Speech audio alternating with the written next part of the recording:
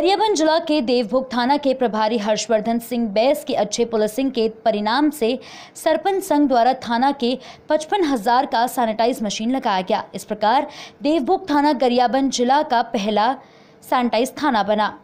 गरियाबंद ज़िले के देवभोग थाना अंतर्गत कुल 128 गाँव आते हैं। मामलों को लेकर भीड़भाड़ रहती है व मामले की भी व्यापकता रहता है, जहाँ देवभोग ब्लॉक में इन दिनों कोरोना का दस्तक जनता तक पहुँच चुका है।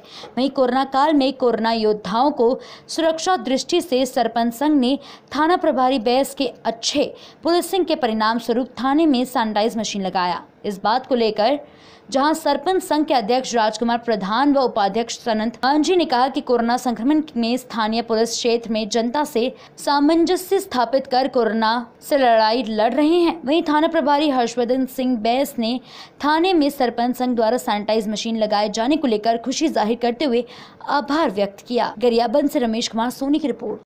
थाना देवभोग क्षेत्र अंतर्गत जितने भी गाँव आते हैं, उनमें कुल चौवन ग्राम पंचायतें होती हैं। चौवन ग्राम पंचायतों के सरपंच लोगों ने मिल करके थाना देवभोग को ये सौगात दिया है। एक सैनिटाइज़र मशीन इस क्षेत्र में जो कोरोना का फैलाव हो रहा है, उसको ध्यान रखते हुए, थाना का सहयोग करते हुए सैनिटाइज़र मशीन थाने को में लगाया गया है और मैं उनका बहुत आभारी हूँ। इस तरह से हम सबको मिलकर आम जनता और पुलिस कोरोना के खिलाफ एक बड़ी लड़ाई लड़ने के लिए तैयार हैं और लड़ भी रहे हैं। और हमें उम्मीद भी है कि हम इसमें सफल हों